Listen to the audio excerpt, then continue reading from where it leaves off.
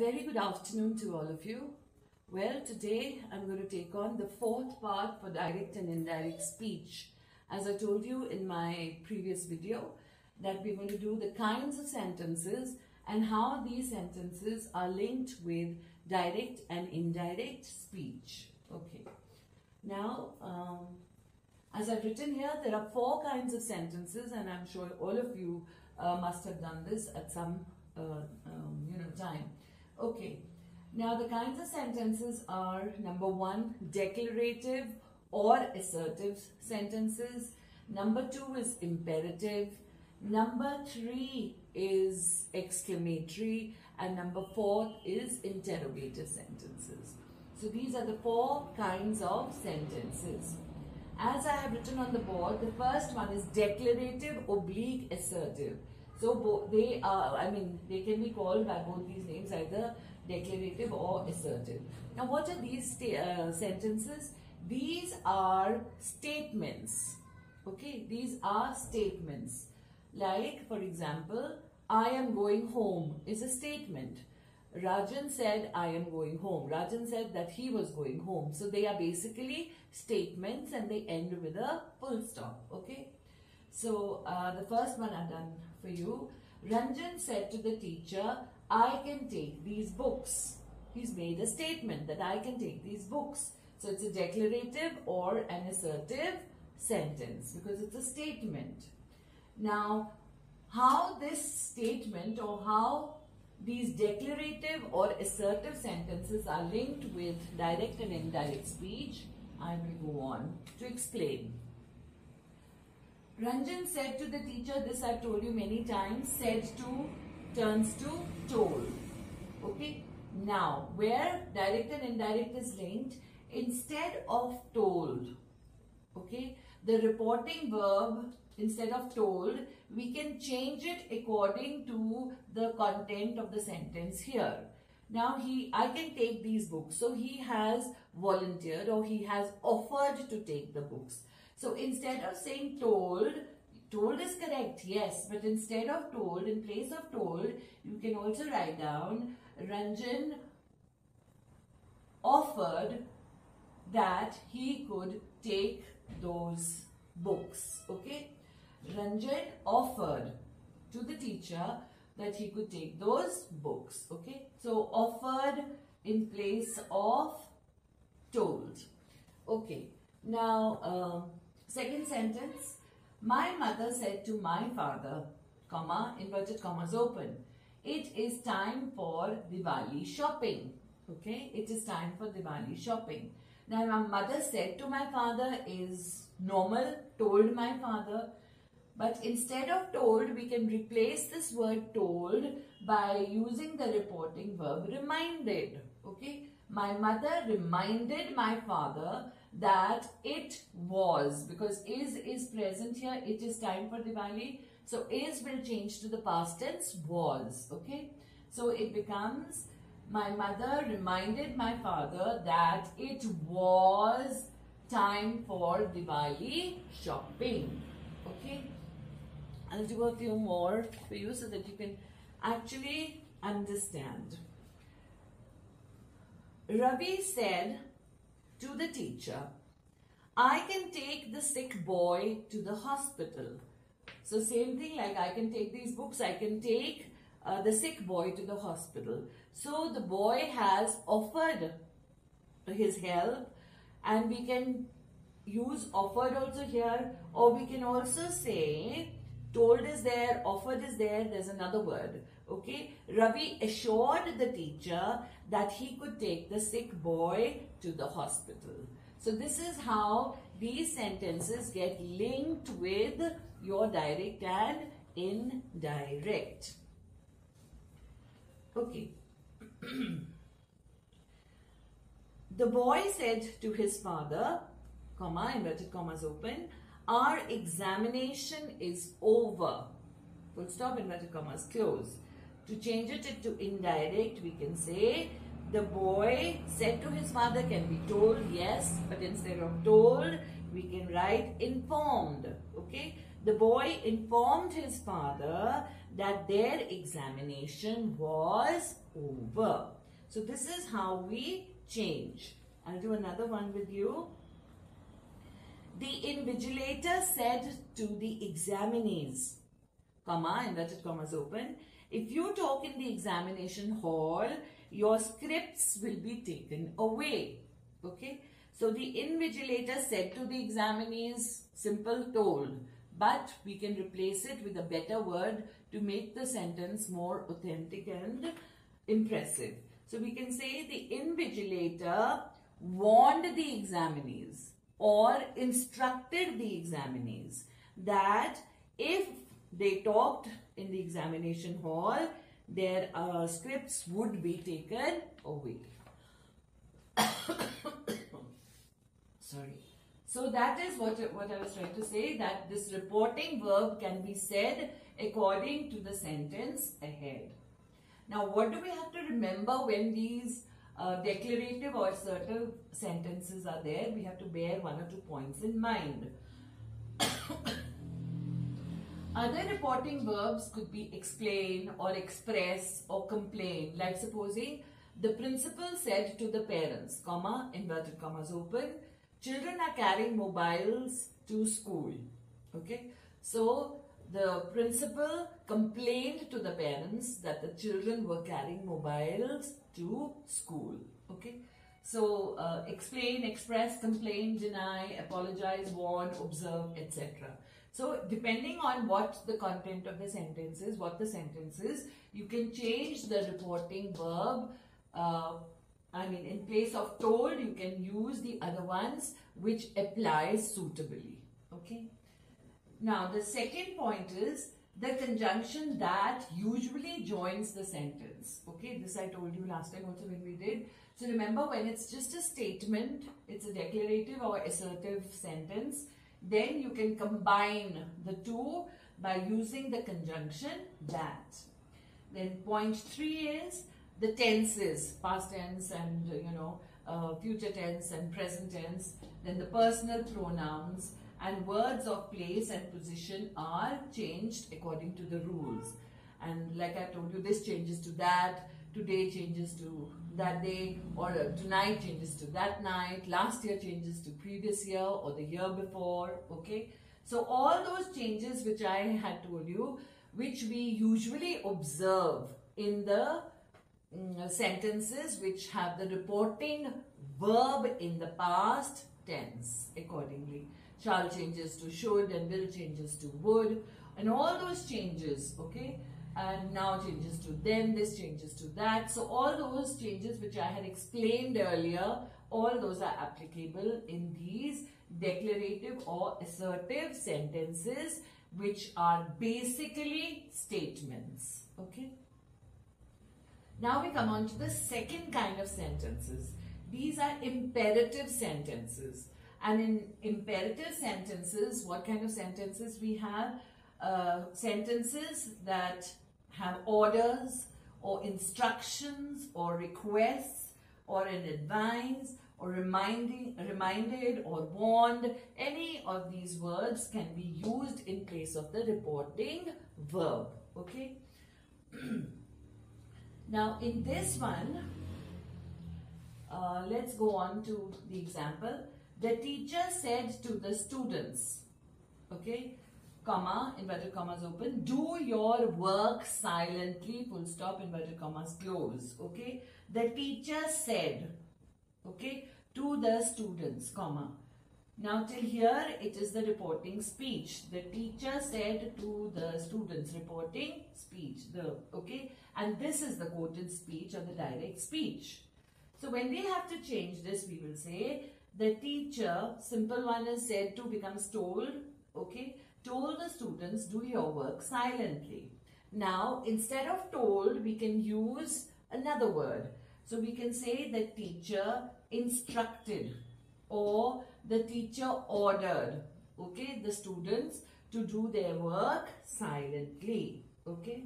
Now, the next sentence that I have on the board, the teacher said to Rohan, comma, inverted commas, open. Please distribute the sweets. Please distribute the sweets. inverted commas close. Now we have to change it into indirect speech. Now all of you must remember whenever you have this word please in the sentence, that means it is a request. Okay. So when you have the word please, you have to substitute said to, told to requested. Okay.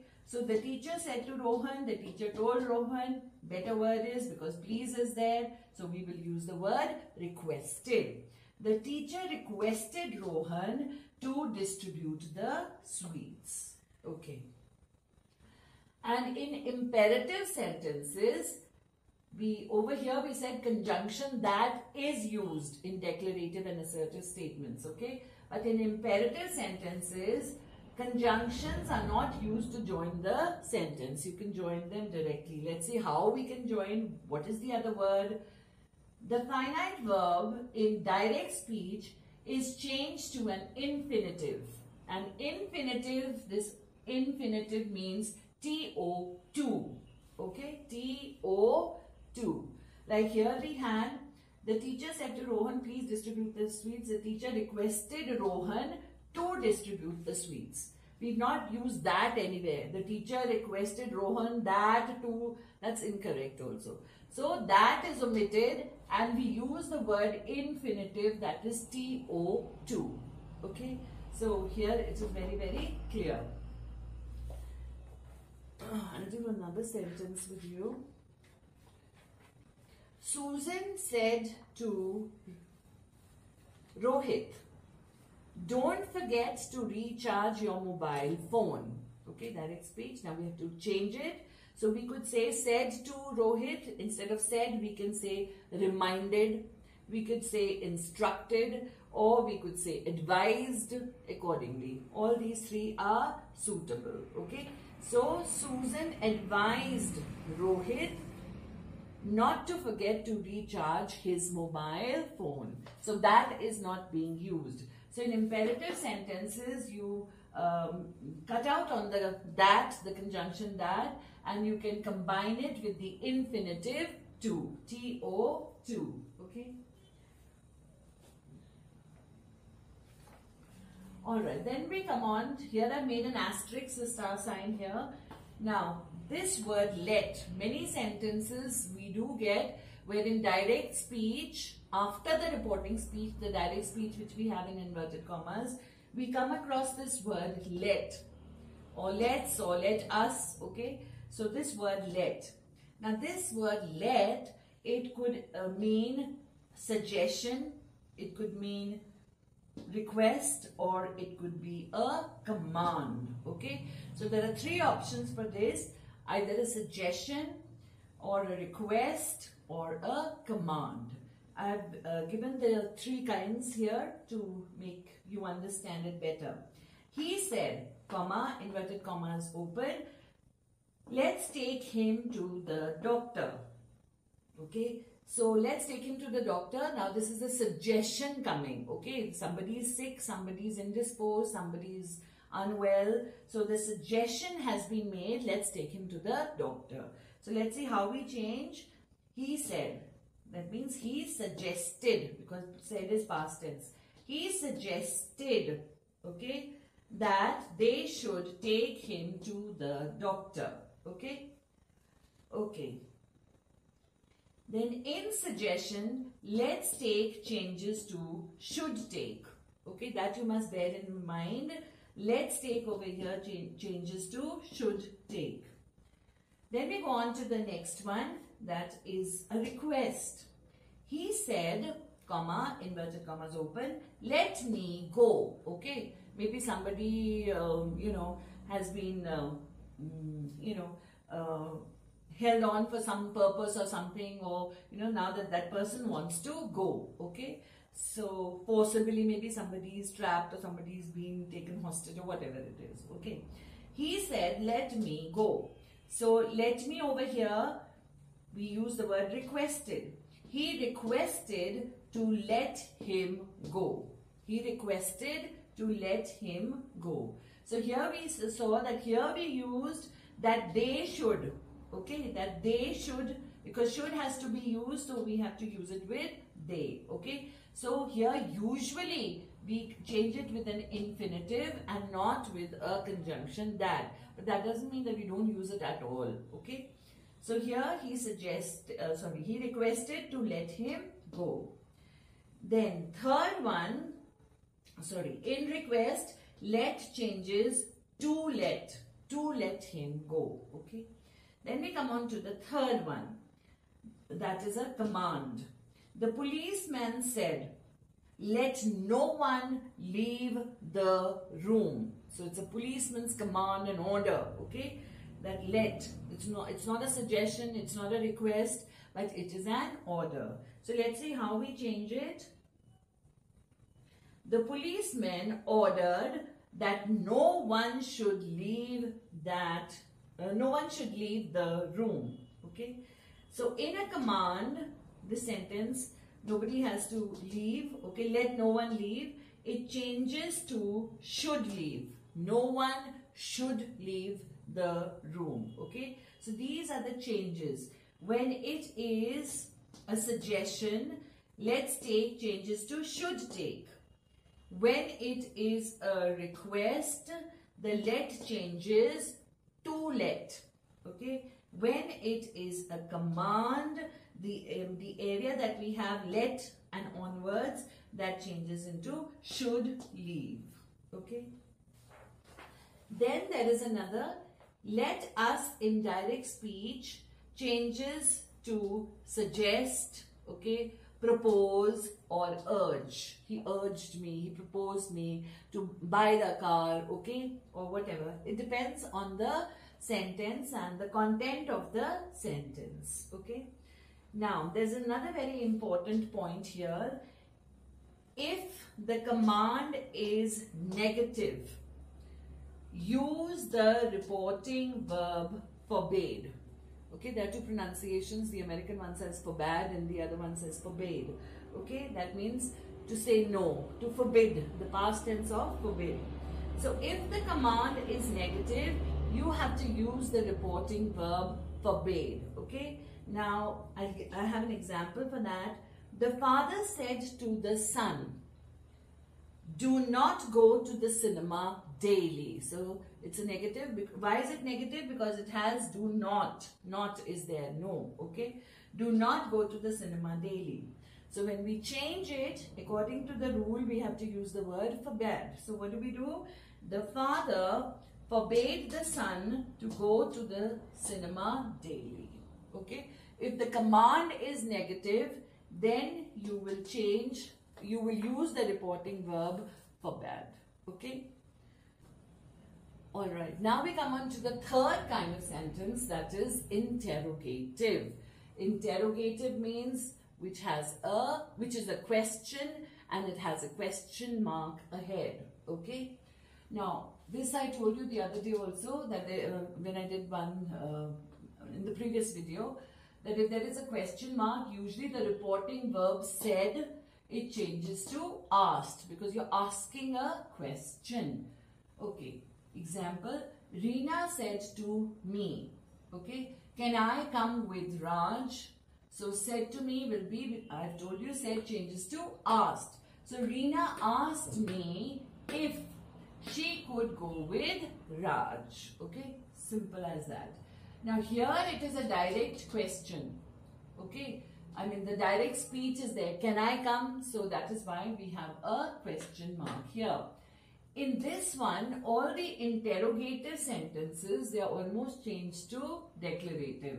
So that is why the indirect speech does not have a question mark. Okay.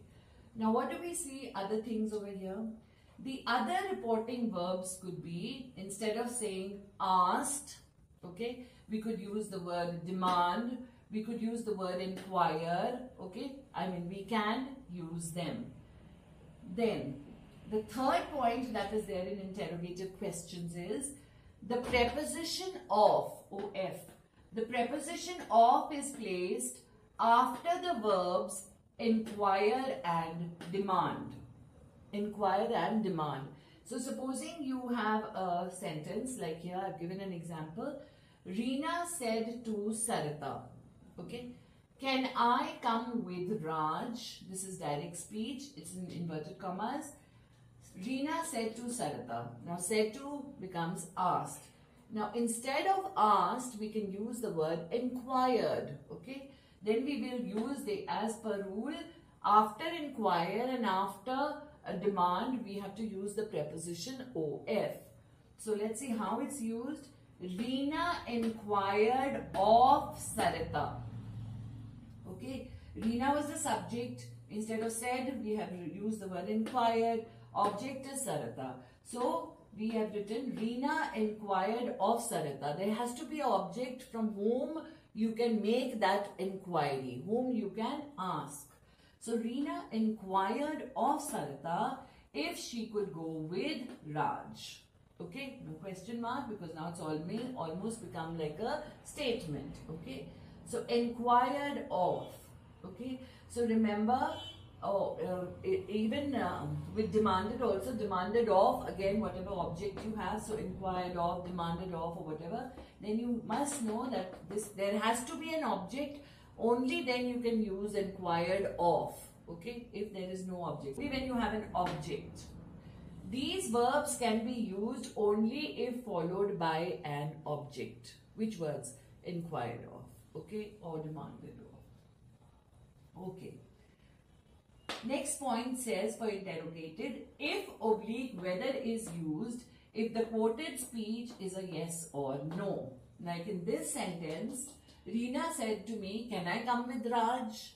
Now here, what do you think the answer? The answer could either be yes or it could be no. So if there is a yes oblique no, you know, in that question, I mean, um, in the form of an answer to that question, then we use the word if oblique whether. Okay, if oblique whether. If oblique whether is used if the quoted speech is a yes or a no. I mean the answer demanded if the answer has to be either yes or no then you use the words if or whether.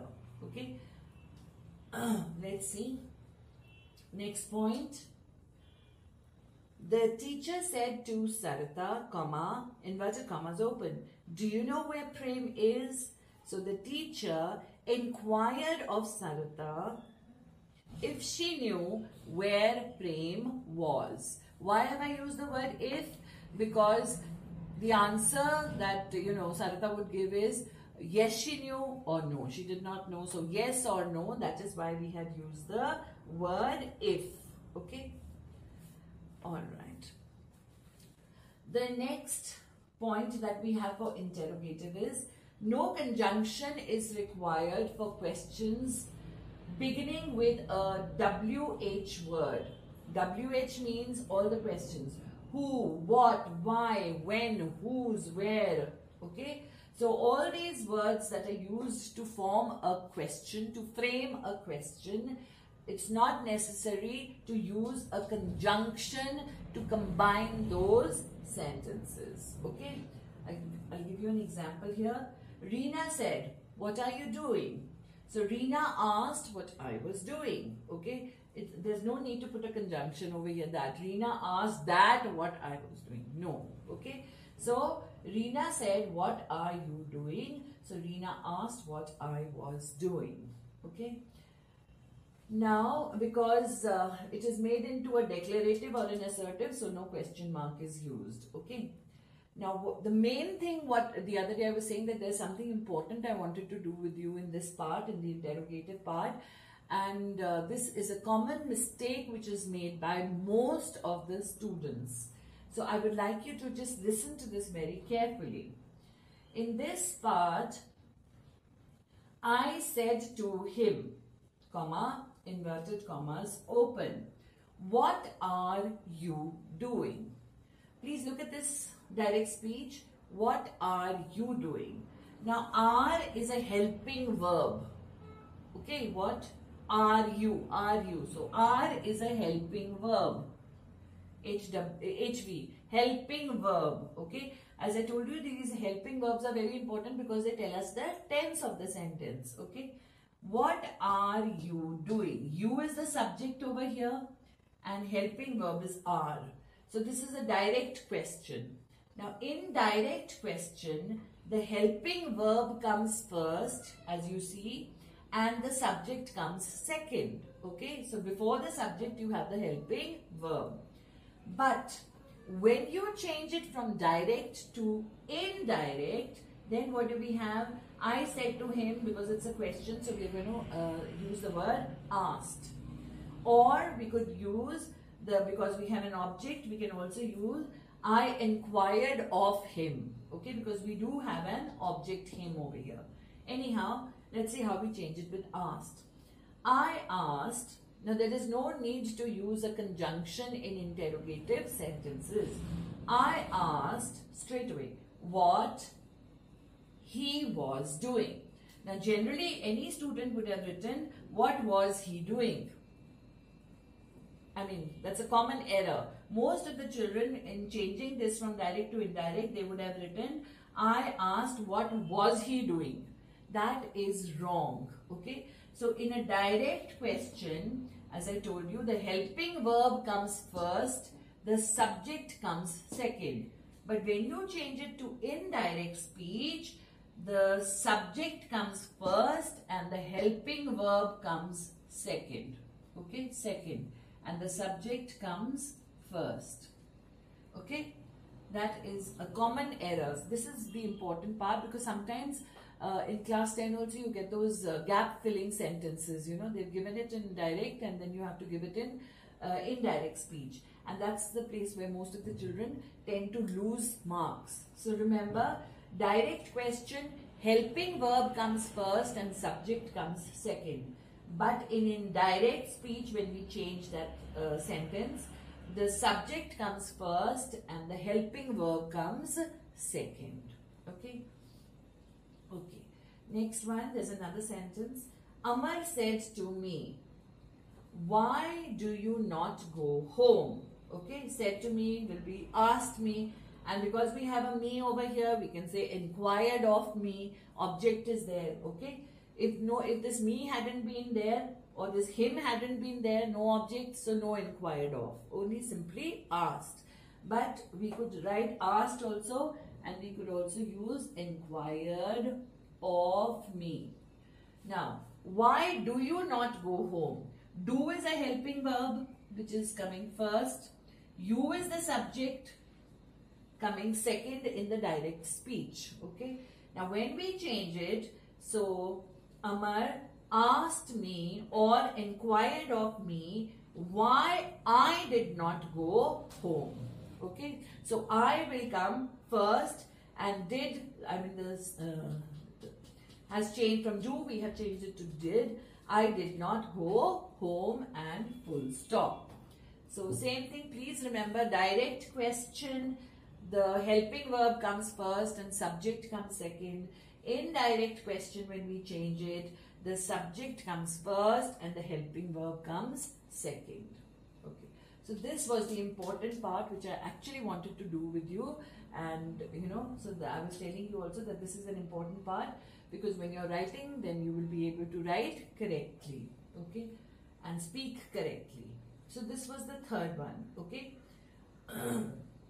now fourth kind of sentences are exclamatory sentences. That means they have an exclamation mark okay? Now emotions are there okay? So there could be joy there could be sorrow there could be praise there could be prayer there could be a wish okay? So all these kinds and then we substitute them.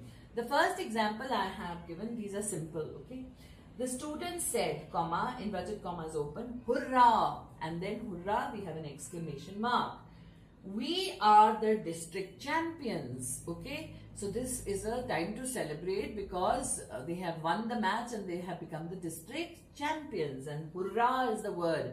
It's an exclamation of joy, okay? So celebration, okay? So when we change this, we will write, the students exclaimed with joy. Exclaimed, E-X-C-L-A-I-M-E-D. Exclaimed with joy that they were the district champions. They are the district champions.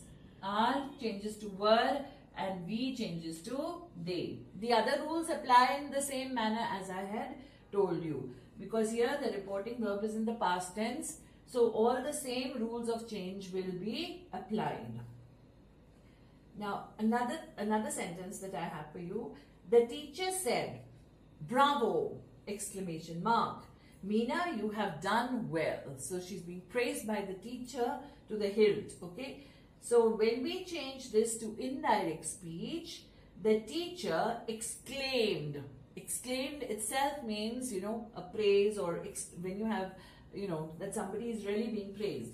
So the teacher exclaimed that Meena had done well. Now, bravo. If you see bravo here, you see hurrah here.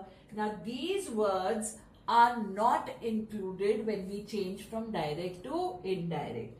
Hurrah we changed by saying exclaimed with joy. Okay. Bravo because it was a praise, so exclaimed. Now I have another third one for you. Rohan said, comma, inverted commas open, direct speech. Alas! Exclamation mark. The old lady died. Okay. Now, alas means tragedy. Okay. So something tragic, something sorrowful. So here we will write, we will not include these words alas or anything. What will we write? Rohan exclaimed with sorrow that the old lady had died. Died and the past tense to make it past perfect will be had died. Okay. So exclaimed with sorrow. You do not have to include these words hurrah, bravo, alas, etc. in your sentence which you are going to change from direct to indirect. You only use exclaimed with joy, exclaimed with sorrow or just ex exclaimed if there's an exclamation mark in the sentence. Okay. So these are exclamatory sentences and the rest of the rules all apply as I told you with the reporting verb. That is the main thing you have to bear in mind when you are doing direct and indirect speech. Remember before the comma it's all reporting speech and then the one that the part that is within the inverted commas that is the quoted speech that is the direct speech and then when we change that into the next sentence then that becomes reported speech. Okay? So that was something you know um, important. Especially this part remember about direct question. The helping verb comes first and the subject comes second. But when we change it to indirect uh, speech then uh, the subject comes first and the uh, helping verb comes second. So uh, with this I think I have tried to cover as much as I could under this topic, direct and indirect speech. So I have done it in four parts. Uh, this is the fourth part that's going to be uploaded. So you can see it in sequence to understand it better, all the four parts. Okay.